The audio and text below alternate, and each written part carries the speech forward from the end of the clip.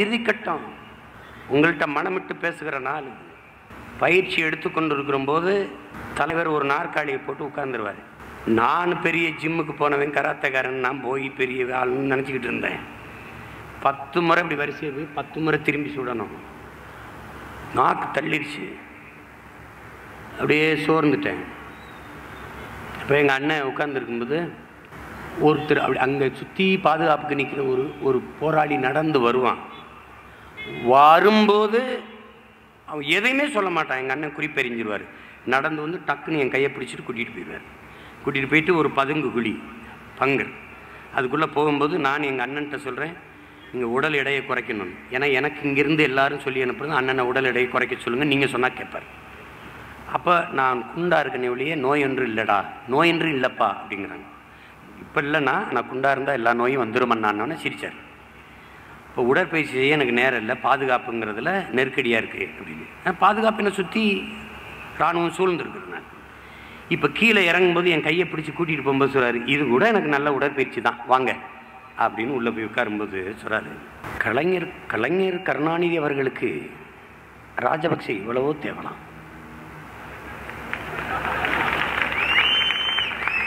ஆழமாக சிந்திங்க. எவ்வளவு வேதனையின் குரல் என்பதை பாருங்கள் ஏன்னா அவராவது அவர் இனத்துக்கு உண்மையாக இருக்கார். திருப்பி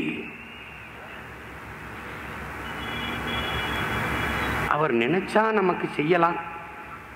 ஆனால் செய்ய மாட்டார். ஏன்னா என்னை அவருக்கு பிடிக்காது. என்னை எம்ஜிஆர் ஆள் என்று அவர் கருதுவார். கொஞ்ச நேரம் மௌனம். இப்போ நீங்கள் நானாக இருந்து பார்க்கணும். ஒரு இருட்டார உயிருக்கு மேலாக நேசித்த தலைவன் அவன் தம்பி. ரெண்டு பேரும் பேசிட்டு இருக்கும்போது அவர் செய்யலாம் செய்ய மாட்டார். அந்த அம்மையார் ஜெயலலிதா அம்மையார் சொல்கிறார் அவங்க ஆட்சியில் இருக்கும்போது நம்ம ஆட்களை எல்லாம் கைது பண்ணி சிறைப்படுத்தினார்களே ஒழிய என்னையை கண்டுக்கலை. கடல் இல்லையே கண்டுக்கலை. எனக்கு எல்லா பொருள்களும் தடை இல்லாமல் வந்து கொண்டிருந்தது. இந்த பொருள்கள் என்னென்னு உங்களுக்கு சொல்கிறேன் மருந்து மாத்திரைகள் பச்சை உடை. அதாவது இந்த சீருடை என்ன சொல்கிறாங்க கோடு போடுவதற்கு அங்கே வசதியிலேருந்து நான் போட்டுக்கிறேன். பச்சை துணி உள்ள வரல. அதுக்கு என்ன சொல்கிறாரு நீங்கள் பார்த்துருப்பீங்க இறந்த மாவீரர்களுக்கு நான் அன்னை எதுவுமே கொடுக்க முடியறதில்லை. என்னால். ஒரு ஒரு படம் கொடுப்பார். அவங்க படம். தேசிய கொடியே கொடுப்பார். உடுப்போட புதைப்பார். நான் அதிகபட்சமாக மாவீரர்களுக்கு செய்கிறது இதுதான். அந்த உடுப்போட புதைக்க கூட என்னால் முடியாத நெருக்கடி உருவாயிருச்சு. ஏன்னா பச்சை துணி வரல. அரிசி பருப்பு வரல. எரிபொருள் பெட்ரோல் டீசல் வரல. இந்த மருத்துவமனையில் நீங்கள் பார்த்துப்பீங்க நாடு இருட்டில் இருக்குது நாம் இருட்டில் போயிருக்கோம். ஆனால் மருத்துவமனை போரில் காயம்பட்ட பிள்ளைகளுக்கு நான் மின்சாரம் கொடுக்காம எப்படி இருக்க முடியும்? அந்த மின்சாரத்தை பெட்ரோல் டீசல் வச்சு தான் நான் உருவாக்கி கொடுக்குறேன். அந்த பெட்ரோல் டீசல் வர வரலை. ஆனால் அம்மையார் ஜெயலலிதா காலத்தில் இதெல்லாம் தடை இல்லாமல் எனக்கு வந்துக்கிட்டு இருந்துச்சு. எல்லாம் நீங்கள் விளங்கிக்கணும். அவங்க ஆட்சி முடிஞ்சு நம்மால் வந்துட்டார்னு நினைக்கும் போது சுத்தமாக கடலிலே இறுக்கி மூடிட்டார். அவர் நினைச்சா செய்யலாம் ஆனால் செய்ய மாட்டார். அப்புறம் நீண்ட மௌனம். தமிழினத்திற்கு இவர் தான் தலைவர்ன்றாங்களே அப்படி பார்த்தா எனக்கு அவர் தானே தலைவர்? அப்போ நான் கஷ்டப்படுறத அவர் விரும்புகிறாரா நீங்கள் பேசி பாருங்க. கடல் எல்லையில் ஏதாவது ஒரு ஓரத்தை தளர்த்தி விட சொல்லுங்க ஏதாவது ஒரு ஓரத்தை. அதை பேச வந்த என்னை கடைசி வரை கருணாநிதி சந்திக்கலை. பாருங்க காலம் எல்லாரும் சொன்னாங்கன்னு அவர் இறந்து போன நிகழ்வுக்கு போனேன். காலம் என்னை கடைசி வரை அவர் முகத்தில் முழிக்கவில்லை. வேற பக்கம் கூட்டிட்டு போயிட்டு.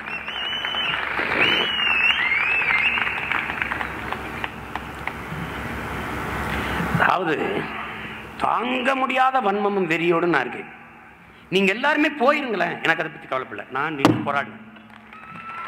நானும் நீ போடு ஓட்டு போடு போடாம போவிடு நான் இங்கே பாரு நான் உனக்கான ஆள் கிடையாது. நான் என் தலைவனுக்கான மகன்.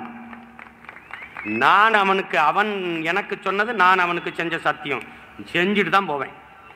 எனக்கு என் தலைவன் புகழ்மாறன் என்ற ஒருவரை வந்து பாதுகாப்புக்கு விட்டுட்டார். புகழ்மாறன் ஒரு தம்பி கொஞ்சம் ஒரு புகழ்மாறன் ஒரு தம்பி ஒல்லியாக இருப்பான். அவன் தான் எனக்கு முதன் முதலாக சூட்டு பயிற்சி கொடுக்குறான்.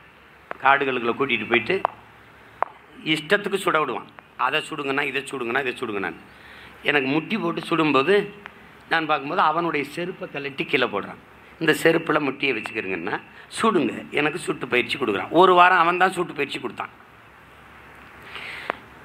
எனக்கு பாதுகாப்புக்கு அண்ணா அவனுக்கு கீழே ஒரு படையை வச்சு என்னோட முன்ன ஒரு வண்டி பின்ன ஒரு வண்டி நடுவில் என் வண்டியில் சேரா ஓட்டுவான். பின்னாடி துவக்கோட தம்பி புகழ்மார இருப்பான். ஒரு நாள் இரவு என்னை படுக்க வச்சுட்டு தவமன்னாவும் புகழ்மாறனும் போகிறாங்க ஒரு அஞ்சு நிமிடம் கூட இருக்காது. அஞ்சு நிமிடம் கூட இருக்காது. உடனே கதறி அடித்து ஓடி வந்து என் தம்பி சேரலாதன் எல்லாரும் என்னை கட்டி பிடிச்சி அழுகிறாங்க. என்னடா சொல்லுங்கடா என்னடா சொல்லுங்கடா அண்ணன் அண்ணன் ஒன்றுமே உனக்கு ஓடலை. புகழ்மாறனும் தவானனும் செல்லடித்து இறந்து விட்டார் எப்படி என் மனநிலை இருக்குன்னு மட்டும் நீங்கள் கற்பனை செஞ்சு பாருங்கள் இப்போ தான் என்னை படுக்க வச்சுட்டு போகிறாங்க நீ ஓய்வெடுங்கண்ணான்ட்டு காலையில் சந்திப்பான்ட்டு. ரெண்டு பேரும் இறந்து விட்டாங்க. எப்படி பாருங்கள் அப்போது அதுக்கு முதல்ல தலைவர் எனக்கு பயிற்சி கொடுத்துட்ருக்குறாங்க இப்படி ஒரு நாற்காலியை போட்டு உட்கார்ந்துருக்குறாங்க எனக்கு க தலைவரே பயிற்சி கொடுத்துருவாருக்குன்னா கடாபி எனக்கு பயிற்சி கொடுத்துட்ருக்காரு அப்போ ஏதோ ஒரு பேச்சுவாக்கில் அன்னை வந்து நீ பண்டிகரி சாப்பிட்டியா? என்று கேட்குறாங்க. சாப்பிட்டீங்களா? அப்படின்னு கேட்குறாங்க இல்லைன்னா நாங்கள் இன்றைக்கி தான் வேட்டைக்கு போக போகிறோம் என்று சொல்லிட்டேன். இது இது வந்து நான் ஒன்றும் தெரியாமல் ஒரு யதார்த்தமாக ஒரு சொல்லிட்டேன்.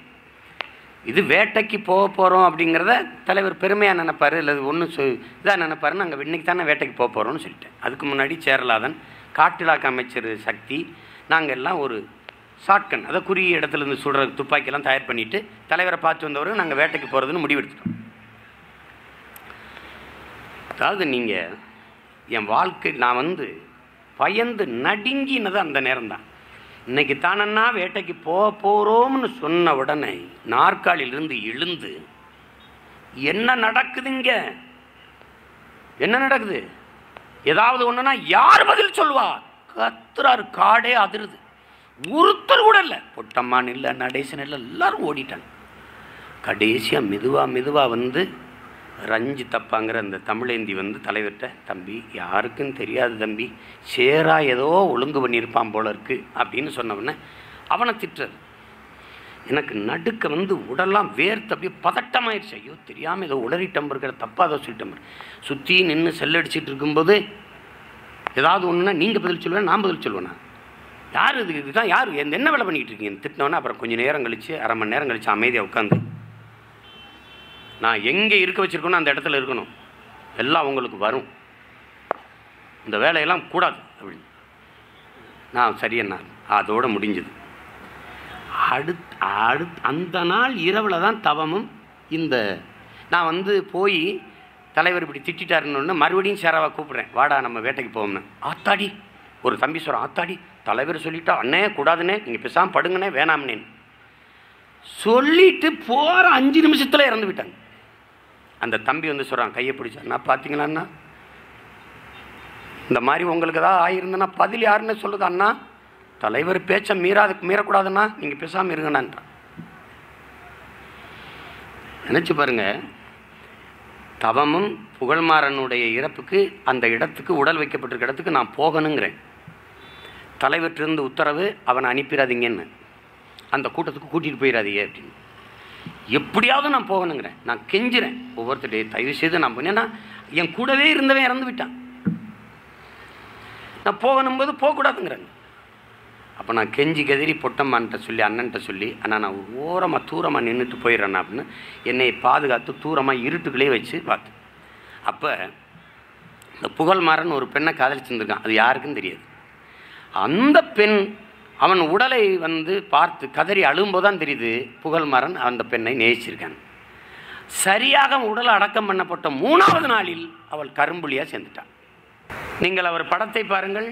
எல்லோர் கழுத்திலும் ஒரு சைனைடு குப்பி இருக்கும். அவர் கழுத்தில் ரெண்டு இருக்கும். மரணத்தை உருக்கி சாவை உருக்கி ஒரு குப்பியில் அடைத்து உதட்டுக்கு முன்பு தொங்கவிட்ட ஒரே ஒரு போராளி இயக்கம் உலக வரலாற்றில் விடுதலை புலிகள் தான்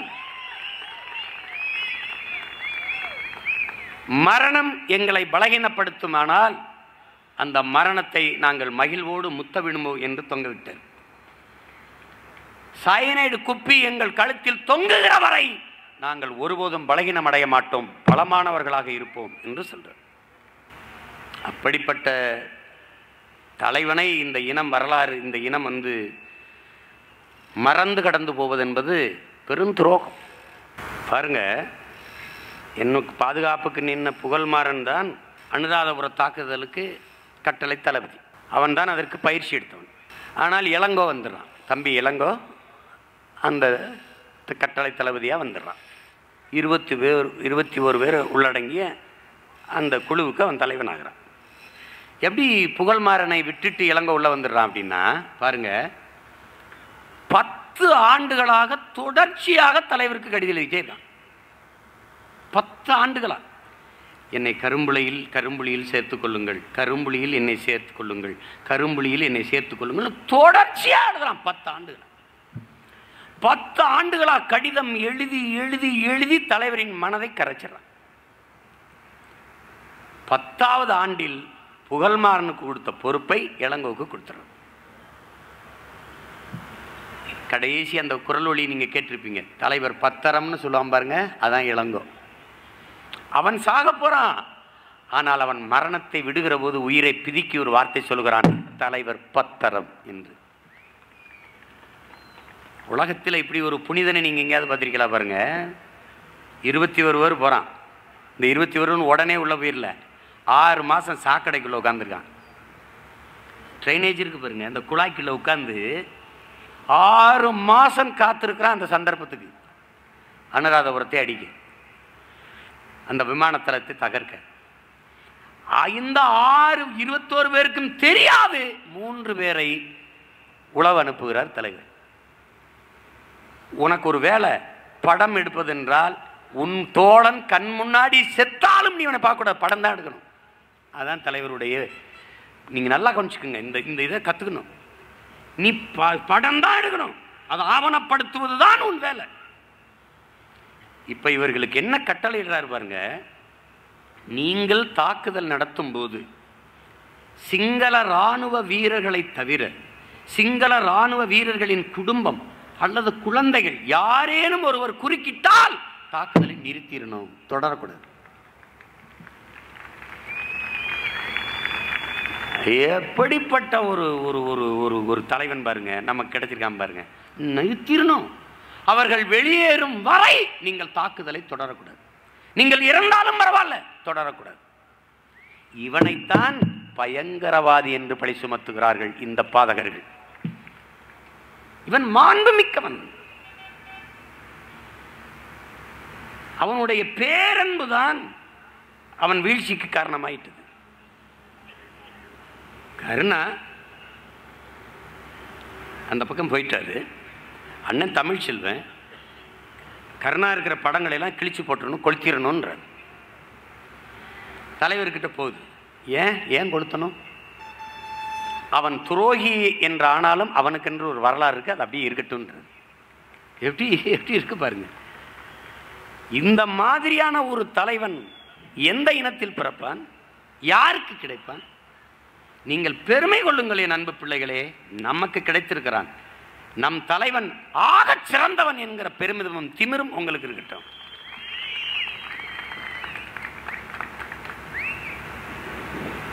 இவர்களைப் போல அற்ப பதர்கள் அல்ல அவன் சோப்பு கட்டி எல்லாருக்கும் கொடுக்குற மாதிரி தான் அவனுக்கு அவருக்கும் ரேஷன் அவருக்கும் பகிர்வு.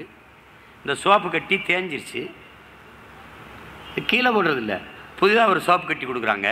இந்த தேஞ்ச சோப்பு கட்டி இதில் ஒட்டி அதை பயன்படுத்துவார். ஏன்னா காசு மக்களோடது.